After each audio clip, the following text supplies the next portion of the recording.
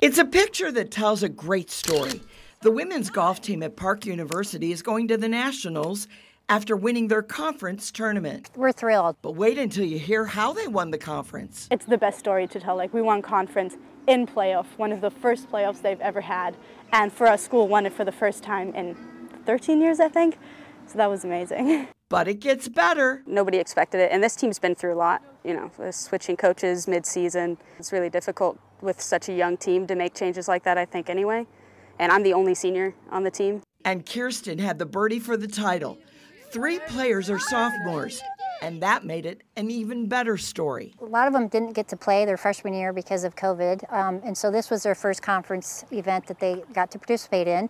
So they didn't really have any expectations. They didn't really know um, what they were getting into, so to speak. Winning in playoff fashion, the Pirates found they could play under pressure. Oh, yeah.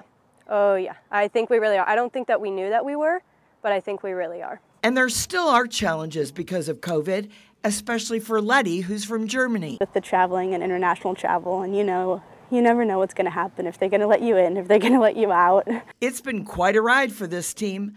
They are the underdogs heading to Oklahoma City, but after all they've been through, they wouldn't have it any other way. Pirates! Karen Kornacki, KMBC 9 News.